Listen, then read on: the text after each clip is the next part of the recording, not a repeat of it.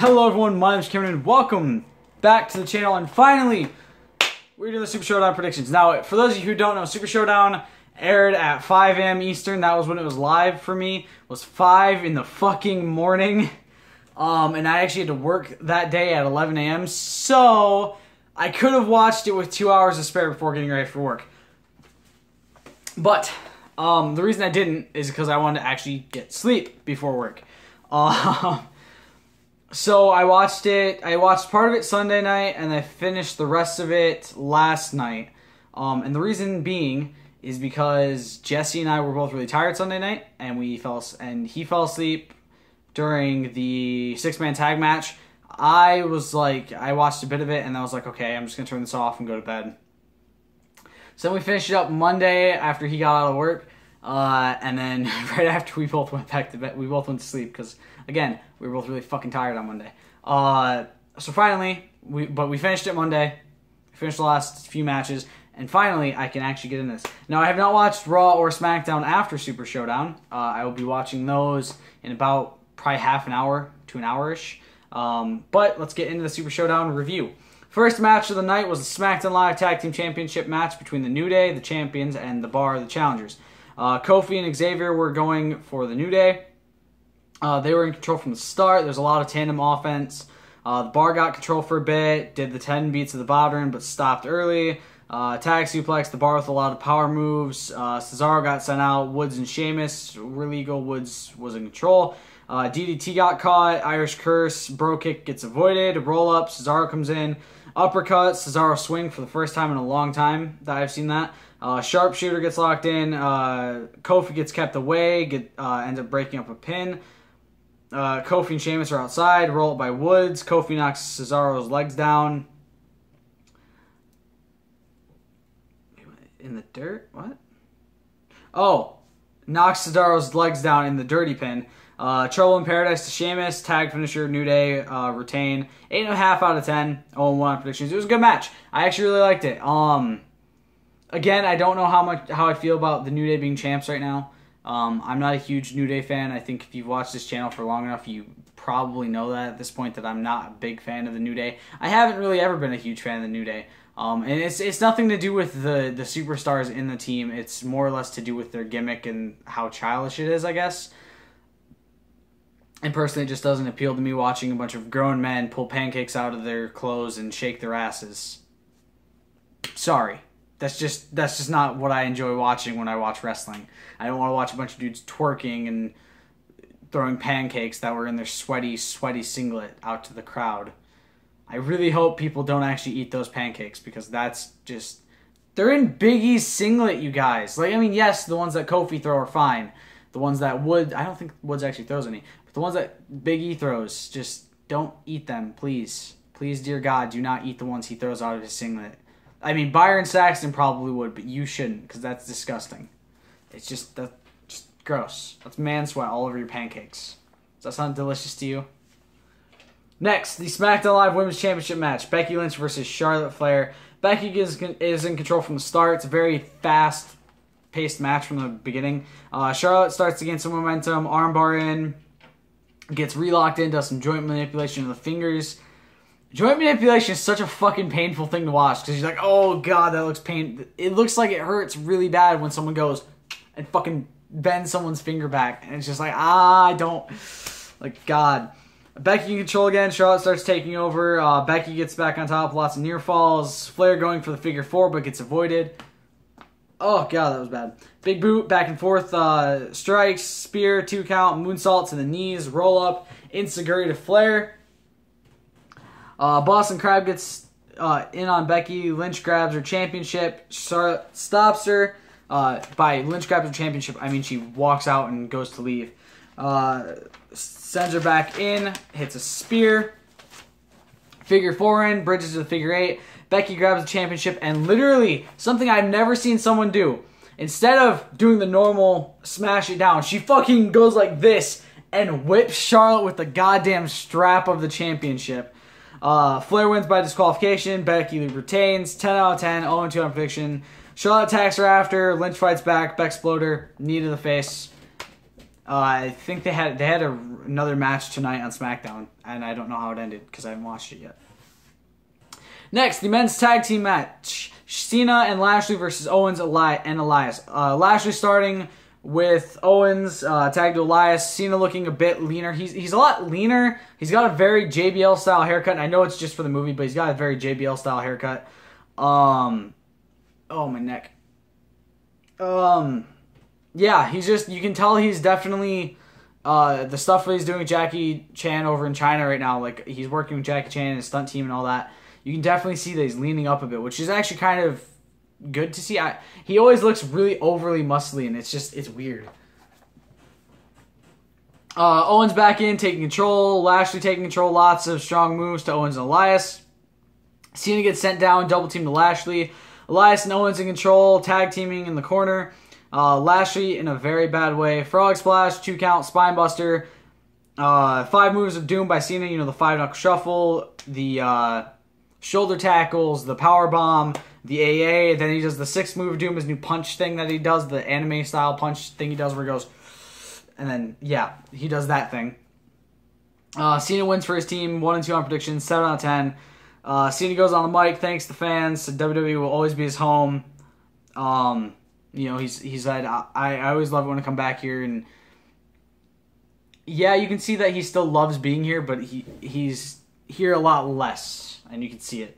Uh, and then they had a weird meat pie commercial with uh, Jimmy and uh, Naomi, and Jimmy was in a bathtub eating a meat pie, and Naomi thought, "Oh, hey, it's like some special romantic thing." She walks all the way over there, and he's in there eating a meat pie. He's like, "Oh, hey, babe, didn't even hear you come home." I was like, "What the fuck? like, what the fuck is an Australian commercial? Like, what the hell was that?" Next, the women's tag team match: the Iconics versus Asuka and Naomi. Iconics have a weird face style promo because they're back home. Uh, control for the Iconics. Asuka and Naomi start gaining it. Double team by the Iconics. German suplex by Asuka to regain control. Split leg and moonsault. Uh, Billie Kay stops it. Missile drop kick. Billie brings Naomi down face first uh, on the apron. Asuka gets set in the barricade. The Iconics win after a tag move. Uh, one and three on predictions. Eight out of ten. It was actually a pretty good match. Um, I probably should have gone for the Iconics, knowing that they were in their home country. Uh, you see that sort of stuff happen a lot. Um, I also just realized the WWE Championship match happened before the Cruiserweight Championship match. Well then. Oh, yeah, Iconics won. It was an okay match. Next, the WWE Championship match: AJ Styles versus Samoa Joe. Uh, AJ takes it before the ring bell rings, uh, attacks before the ring bell rings. They both kind of attack each other. Uh, AJ in control, Joe with a powerful chop, suicide dive to AJ, Joe in control again. Styles starts fighting back, diving forearms and back and forth strikes. Styles is in control. Both men get rocked by like a really heavy hitting move. Uh, Joe taking it again, grabs a chair. AJ drop kicks it into his face, which is a really cool uh, part. Uh, AJ sets up the chair and sits on it.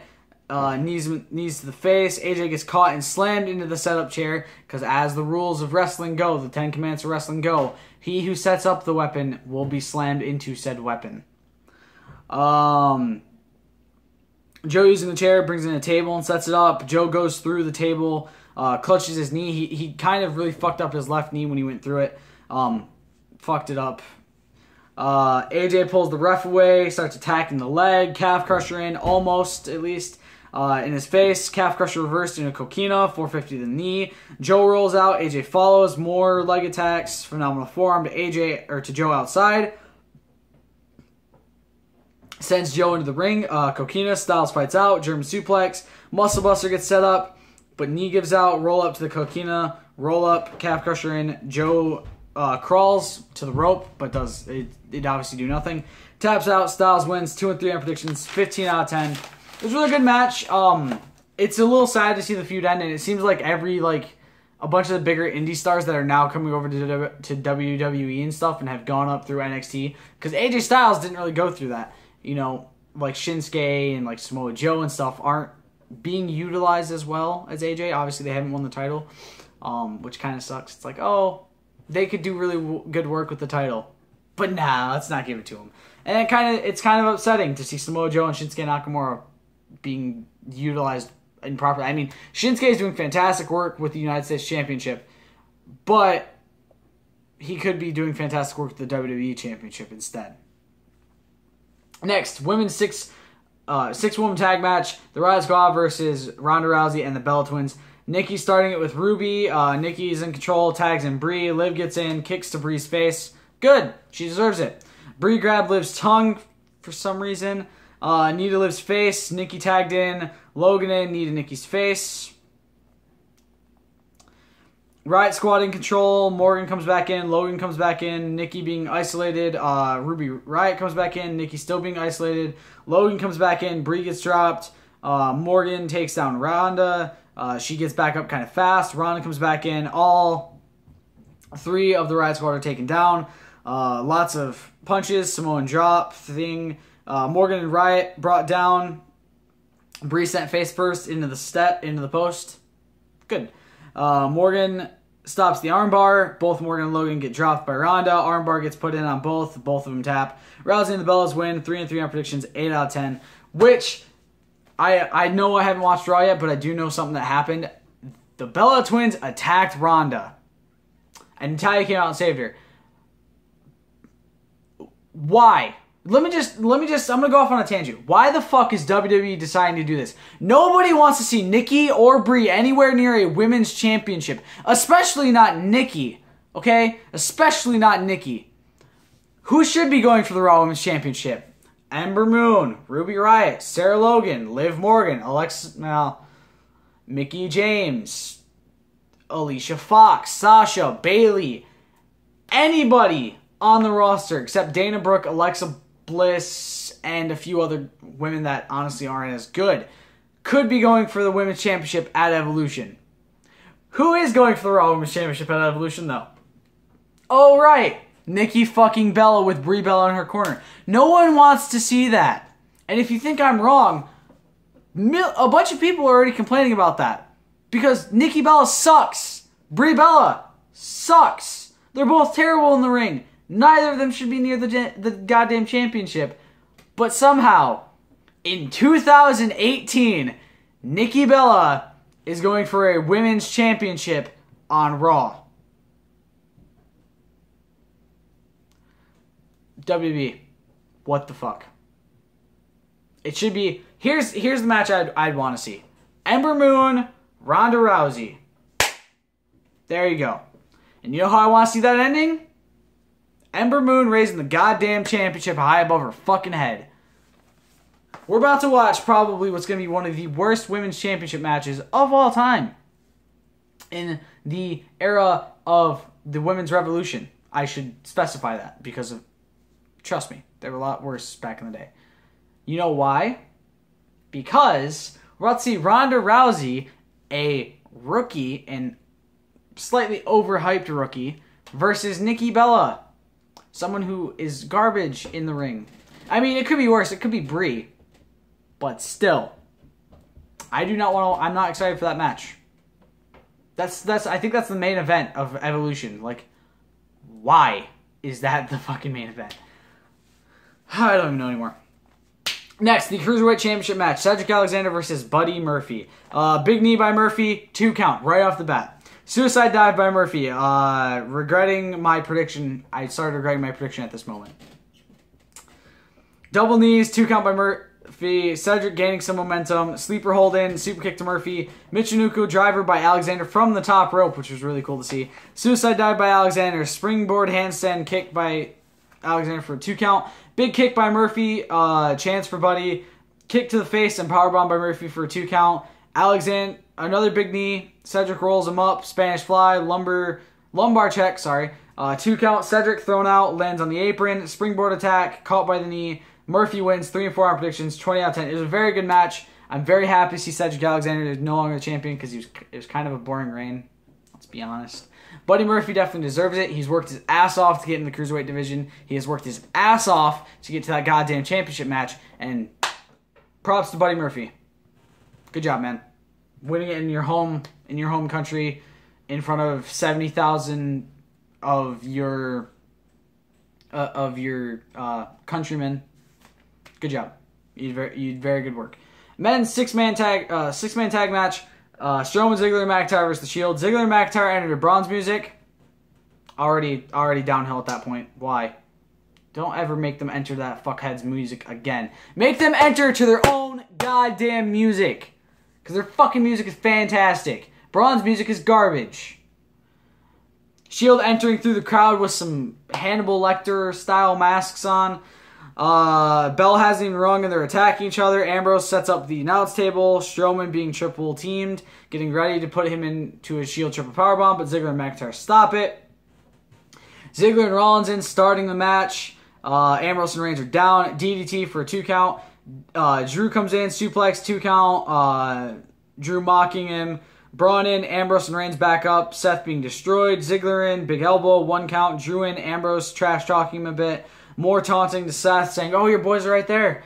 Um, Dolph back in, Seth fighting back. Sleeper hold gets locked in. Seth gains a bit of control, but then Braun comes back in, uh, takes down Dean and Roman. Ziggler and McIntyre keeping them down. Uh, buckle bomb to Ziggler. McIntyre gets sent into the corner. Strowman dives from the top rope and misses. Good. Ambrose is back up. Ambrose and Ziggler are the, now the legal men. Uh, Dean in control. McIntyre distracts him. Dean regains control. Gets two count. Fighting up top. Diving elbow. Roll through by Ziggler for a two count. Reigns gets up. McIntyre comes in. Roman gets tagged in. McIntyre gets sent out. Hit with a drive by drop kick. DDT to Drew. Uh, crowd is really quiet for some reason. Like, not even just the crowd, the crowd and the announcers completely dead silent. You could hear a goddamn cricket chirp in that fucking arena. That's how quiet it was. Accidental Superman punch to Dean, roll up, two count, power bomb by Roman. Ziggler breaks it after Drew kicks out. So he basically did nothing. Drew kicked out and then Ziggler broke it up, which is he's like, oh, Michael Cole's like, oh, Ziggler breaks up and Drew kicks out. Like, no, Michael Cole, only one of those can happen, not both. Superman punch to Drew. Uh,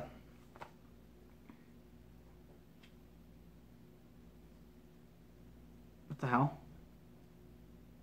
Oh, right. McIntyre, uh, Ziggler, and uh, Bitch, otherwise known as Braun Strowman, set up for the Shield, do like the Shield ring entrance thing. Dean comes in behind them, looks over at Dean or uh, Drew and Dolph, nods, goes in the ring, drop kicks Braun. It was really cool. Uh, Shield starts destroying Drew, triple power bomb. Strowman spears them and drops everyone. They were setting up for the triple power bomb. Strowman just came in and speared them. It was really awesome. Reigns sent out, rolling, uh, or Rollins sent out, runs through Reigns. Uh, and then Rollins, he does the, you know, Strowman does his stupid running shoulder tackle bullshit. Uh, Seth gets sent down two, zigzag, two count. Dean gets thrown out, spear to save Dean. So Braun, Braun went to do the run run through thing to Dean, and out of nowhere you just see fucking Roman spear him through a barricade. It was, it was awesome. Um, super kick, zigzag. Seth saves it from uh, from the super kick or zigzag claymore um, combo thing. Super kick by Seth. Uh, Dirty Deeds to Ziggler. Shield win. 20 out of 10. 4 and 4 round predictions. It's a really good match. Shield won, which is uh, the right way for that to go. Uh, having the Shield lose would have been really fucking stupid. Um, well, hold up. There we go. So, yeah, I was really happy to watch the Shield win, especially since it was against Drew, Dolph, and Braun. And then Drew on Twitter is like, you can't defeat us he was saying something about that. He's like, "You can't defeat us," and I was like, "But Super Showdown though." like it showed somebody. The first thing I saw was a, uh, a, a, response, and it was a person with the gif of Dolph Ziggler getting pinned at Super Showdown. It's like, huh? You guys can't be defeated, huh? Hmm. Really? Match number nine, men's singles match. The winner is the new number one contender for the WWE Championship, Daniel Bryan versus The Miz. Miz going right after him. Uh, fast attacks, mocking Daniel gets caught by a kick. Yes kicks. Last one gets reversed. Flying knees by Miz. You know the flying knee thing that he does. Roll up. Bryan wins 4 out of 10. 5 and 4 on predictions. For the match between those two, it was very eh. It was very crappy. I didn't really enjoy it. Um, Dean or Daniel winning by the roll up was kind of like okay, this is the penultimate match for this feud right now. You know, this is like the the final match for this feud, and this is how it ends. A cheap little roll up in about fucking 20 seconds. It was not one of my favorite match. It was probably my least favorite match of the night. And it was the only one that scored below 10 basically, uh, or below 8 on on the entire thing. Next, men's singles match, which is now no DQ, The Undertaker versus the versus Triple H. I put the Miz, I think, by accident. Long entrances, long introductions. Triple H ducks away a lot. Mox Taker, some back and forth. Triple H in control, Taker in control. Undertaker goes old school. Snake Eyes Triple H need to Taker. Um, Triple H saves uh, Shawn from a choke slam. HBK attacks Taker. Kane runs him off. Triple H in control. Table brought out. Triple H flipped off, flipped off of Taker like he kind of was getting ready. Uh, he was going to do a pedigree through the table, and then got flipped over. Neckbreaker by Triple H. Lots of back and forth. Triple H gets sent out. HBK checks on him. Triple H gets sent over the barricade, fighting through the crowd. Taker choking him. Pedigree gets reversed uh, pretty badly, in my opinion. They do fix the spot. They do the spot again later in the ring, and it looked fine. I don't know why exactly it got messed up out in the crowd, um, but it did. It looked really bad, and it was just, it was really horrible. It was what actually made me think it was gonna be a bad match going into this. Was that clip? Was a clip of that that I saw on Sunday. Back to the ring, HBK gets sent down by a right. Big boot to Triple H. HBK checking on Trips after a chair shot.